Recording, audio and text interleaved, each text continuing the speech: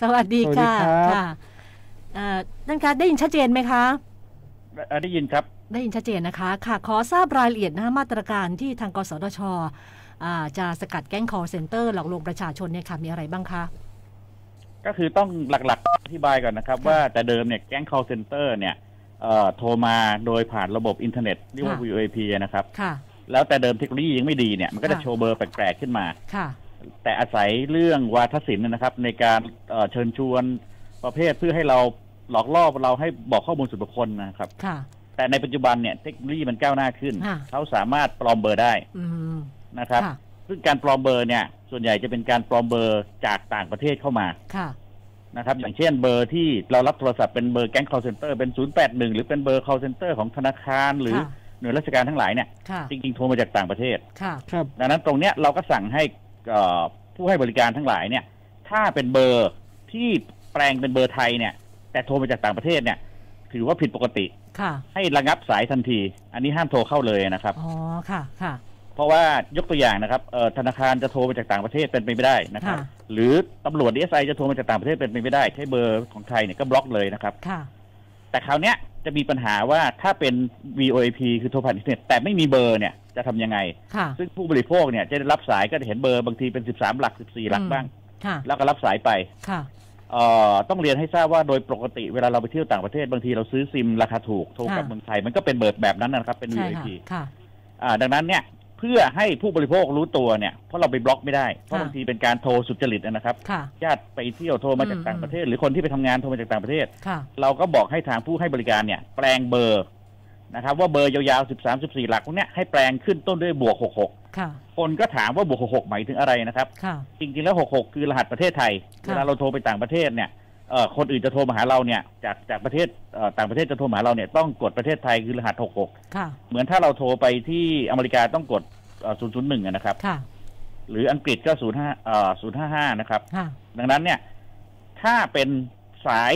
อินเทอร์เน็ต จากต่างประเทศโทรเข้าเมืองไทยแปลงเป็น066เนี่ยเออบวก66เนี่ย ก็แปลว่ามีโอกาสเป็นเบอร์มิจฉาชีพ ค่ะเอ่อดังนั้นคนที่รับสายเนี่ยให้ระมัดระวังตัว อืมก็คือมันจะโชว์เลยว่ามีบวกหกหกนำหน้านี่ให้เราได้ถูกต้องครับ นะน่าจะเป็นมิจฉาชีพแล้วเพราะว่าโทรมาจากต่างประเทศ ใช่ครับค่ะหรือหรือถ้าเป็นญาติเราโทรมาเขาก็ค่ะ จะบอกเป็นญาติเราก็คุยกันรู้เรื่องไปเอง ใช่ค่ะแต่ถ้าเป็นคนที่ไม่รู้จักปั๊บเนี่ย ก็ให้สันนิษฐานว่าอาจจะเป็นเบอร์มิจฉาชีพครับ ค่ะ อันนี้ก็เป็นวิธีหนึ่งที่ที่เราจะรู้ตัวก่อนล่วงหน้านะคะ ครับอ่าค่ะ แต่ว่าเราจะบล็อกเขาทั้งหมดเลยไม่ได้ คือคือต้องเรียนให้ทราบค่ะว่าเอ่อที่เราบล็อกได้เนี่ยคือบล็อกเบอร์ที่ชัดเจนว่าเป็นเบอร์มิจฉาชีพคือเบอร์ที่ปลอมเบอร์ไทยค่ะแต่ส่งมาจากต่างประเทศเนี่ยบล็อกได้เลยค่ะ แต่พอเป็นเบอร์เอ่อผ่านอินเทอร์เน็ตเนี่ยอาจจะเป็นคนปกติโทรมาหาเราจริง ๆ ก็ได้ ถ้าค่ะจะไปบล็อกเนี่ยมันจะเกิดความเดือดร้อนค่ะเราก็เลยเอ่อใช้แปลงเบอร์เป็นการระมัดระวังอะนะครับ ไม่สามารถบล็อกได้ร้อยเปอร์เซ็นแล้วต้องเรียนตรงไปตรงมาว่า ปกติเนี่ยตามกฎหมายคุ้มครองเรื่องเสรีภาพในการติดต่อสื่อสารถึงการทางโทรคมนาคมค่ะแปลว่าถ้าไม่มีเหตุอันควรสงสัยเนี่ย เราไปบล็อกโทรศัพท์ใครไม่ได้อืมเราไปดักรับดักฟังก็ไม่ได้ค่ะดังนั้นไอการที่บอกว่าเฮ้ยต้องไปปล่อยให้มิจฉาชีพโทรเนี่ย เพราะไม่มีใครรู้ว่าสายนั้นเป็นสายมิจฉาชีพครับค่ะค่ะ อืมค่ะเพราะว่าเขาก็จะมีวิธีการแนบเนียนเรื่อยๆนะคะ แต่ว่าอันนี้ถูกก็ต้องครับน่าจะเป็นวิธีหนึ่งที่ที่พอโทรเข้ามาปุ๊บเราเห็นบุกหกหกนำหน้าแล้วนะเราก็น่าที่จะรู้ตัวก่อนล่วงหน้าแล้ว ถ้าเราไม่มีรู้สึกว่าจะมีญาติพี่น้องหรือใครอยู่ต่างประเทศ หรือว่าทำธุรกิจอยู่ต่างประเทศที่ใครจะโทรมาเนี่ยนะคะอืมค่ะ อันนี้ก็เรียกว่าเอ่อเริ่มมีผลทันทีเลยใช่ไหมคะ ที่คุยกับทางผู้ให้บริการมือใช่ถือครับทั้งหมดเราเราสั่งเราสั่งให้เขาไป จัดทำระบบเลย ซึ่งค่ะอย่างที่ว่าถ้าเป็นบริษัทใหญ่นะครับค่ะคงสามารถดำเนินการได้เลยค่ะแต่ถ้าบริษัทเล็กเนี่ยคงต้องไปเอ่อปรับปรุงซอฟต์แวร์นะครับค่ะเพื่อจะให้เกิดการแปลงเลขหมายให้ถูกต้องอ๋อดังนั้นอาจจะสำหรับบริษัทเล็กอาจจะใช้เวลาสักพักหนึ่งแต่ว่าค่ะคงเร็วๆเนี้ยครับเพราะว่าต้องเรียนให้ทราบทุกท่านโดนหมดฮะว่าว่ามันมีการโทรมาทุกวันวันละหลายสายด้วยค่ะนะครับค่ะอืม ก็เหมือนกับว่าเวลาเราเรายิ่งพูดนะนะมันมันก็จะถี่มากขึ้นเรื่อยๆนะคะครับเดี๋ยวต้องลองดูว่าวิธีการแบบเนี้ยเออมันจะมันจะได้ผลไหมตั้งนะคะโอนสายไปกสทชเลย เออดีไหมเอ๊ะท่านครับ ถ้าสมมุติว่ามิจฉาชีพเปิดเบอร์จากเมืองไทยไปแล้วไปโทรต่างประเทศมันจะแสดงเป็นยังไงครับ หมายเลขเป็นหกหกบวกหกหกเหมือนกันไหมครับเอ่อถ้าจากเมืองไทยใช่ไหมครับครับแล้วโทรไปต่างประเทศปลายทางต่างประเทศจะเห็น66ครับ ไม่ผมหมายถึงว่า สมมติว่าเขาซื้อซิมเอ่อ จากเมืองไทย แล้วเขาไปเขาอยู่ต่างประเทศเขาโทรเข้ามามันจะบวกหกหกไหมไม่ครับเอ่ออันนั้นจะเป็นจะเป็นกรณีการลมมิ่งฮะ ครับใช่ไหมครับ มันมันก็จะไม่รู้ว่าเป็นมิจฉาชีพเหมือนกันใช่ไหมครับท่าน ถูกต้องครับคือคือสมมตินะฮะสมมุติถ้าเราโรมมิ่งเนี่ยผมใช้เบอร์โทรศัพท์ผมเนี่ยไปต่างประเทศ ไปราชการ แล้วก็เปิดสัญญาณโรมมิ่งโทรกลับมาเนี่ย มันจะขึ้นเป็นเบอร์ผมเลย ไม่มีบวกอะไรทั้งสิ้นนะครับค่ะมันค่ะมันก็คือเหมือนกับโทรในประเทศไทยค่ะถูกต้องครับค่ะครับ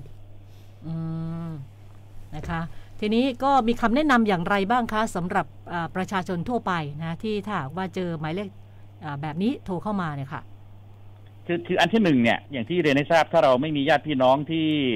ใช้เบอร์แปลกๆอยู่แล้วเนี่ยไม่ต้องรับสายเลยก็ได้นะครับค่ะเอ่อแต่ถ้ารับสายเนี่ยให้พึงสังเกตไว้ว่า ถ้าเขาพยายามจะขอข้อมูลส่วนบุคคลเราค่ะนะครับ จะเป็นเอ่อเลขบัตรประชาชนจะเป็นที่อยู่อายุอาชีพเบอร์โทรศัพท์อะไรก็ตามแต่ค่ะจะขอรายละเอียดนะครับ พวกเนี้ยให้สันนิษฐานได้เลยว่า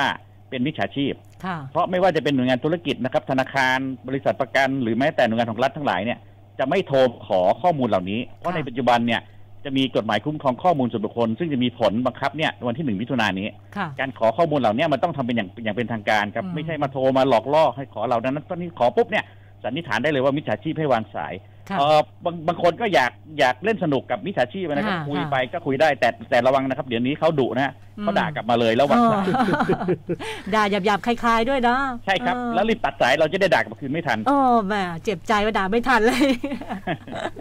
นะคุณหมอเคยเคยโดนบ้างไหมคะเคยมีแก๊งคอร์เซนเตอร์โทรมาหาไหมคะก็มีฮะแต่แต่ส่วนใหญ่ผมก็ตัดสายทิ้งด่านะสาคยรับทิ้งนะคะอ่าครับเราก็ไม่อยากจะไปเสียเวลากับเขาอะนะคะครับใช่ครับอืมค่ะนะคะ เขาเขาก็คงจะรู้นะว่าเราก็มีมาตรการต่างๆ แล้วก็ออกข่าวบ่อยๆนะครับเขาก็น่าจะรู้ตัวนะพวกมิจฉาชีพเนี่ยนะคะอาจจะมีเอ่อเขาเขาค่ะพอมาตรการที่เราออกมาเขาก็ค่ะจะหาช่องโหว่เอ่อเปลี่ยนวิธีการไปอ่าเรื่อยๆครับเดี๋ยวเราก็ต้องตามค่ะตามตามวิอีธีกการเขาแล้วก็ออกมาตรการใหม่ครับ อืมนะคะก็ลองดูนะคะว่าวิธีการนี้นะคะจะได้ผลบ้างนะขนาดไหนอย่างไร เดี๋ยวคงจะมีการติดตามประเมินผลด้วยหรือเปล่าคะใช่ครับ แต่วิธีนี้เนี่ยขึ้นอยู่กับ ความตระหนักของประชาชนด้วยนะครับ ค่ะ เราเป็นเพียงแต่ตัวส่งสัญญาณผิดสังเกตให้ค่ะคือโบกหกค่ะอืมแต่ผู้รับสายเนี่ยต้องระมัดระวังตัวด้วยครับ ค่ะอ่าใช่ค่ะครับ นะคะเราก็ออกข่าวย้ำเตือนอยู่บ่อยๆเนาะเพราะว่าเดี๋ยวนี้เขาก็ใช่ครับ มีการทำเป็นขบวนการน่ะนะโทรโอนสายไปให้คุยกับตำรวจอะไรต่างๆ แล้วก็มีการอ่าให้คุยทางไลน์นะมีวิดีโอคอลนะคะเอารูปตำรวจอะไรมาแอบอ้างด้วยนะคะถูกต้องครับพัฒนาไปหลายรูปแบบเลยค่ะนะเอาอย่างน้อยนะเราก็มีความร่วมมือกันถือว่า เป็นเป็นอ่าวาระที่สำคัญนะที่ต้องร่วมด้วยช่วยกันหลายหน่วยงานนะคะเพื่อสกัดกั้นแก๊ง call center ที่จะมาหลอกลวงประชาชนนะคะ แต่ทั้งนี้ทั้งนั้นอย่างที่ท่านบอกไป เราต้องรู้ทันแล้วก็อย่าไปอ่าหลงเชื่อโดยเฉพาะการจะโอนเงินให้ใครเนี่ยนะคะค่ะครับค่ะขอบคุณมากค่ะ คุณหมอประวิทย์ค่ะขอบคุณครัครับบสวัสดีครับค่ะสวัสสวัสดีดีครัค่ะบ